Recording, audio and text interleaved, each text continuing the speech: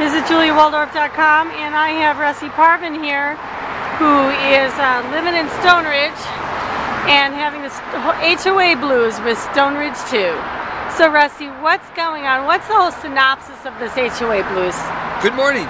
Um, I got my last letter March the 12th and it says although we've received a lot of messages you telling us that we um, you disagree with our fining you $115,000 and you, you also disagree to re-landscape your yard, we're going to go forward and we're going to um, sue you and do um, an injunction on your property.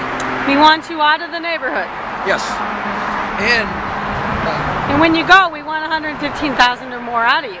right, plus $600 a day for for um, for, for um, not having the garden the way we want you to have it. Julia, You've heard of that when you, you pay taxes on something, you don't get anything? A ghost, is that a ghost tax? Ghost, they call it a ghost tax. Okay. So it's a ghost charge for me. When, when it's a ghost, you can't see it. So I can't see what they want done. So it's a hidden charge of $600 a day. Yeah, because you asked several times, what do you want done? Right. And they say, just get what, get clean your garden up.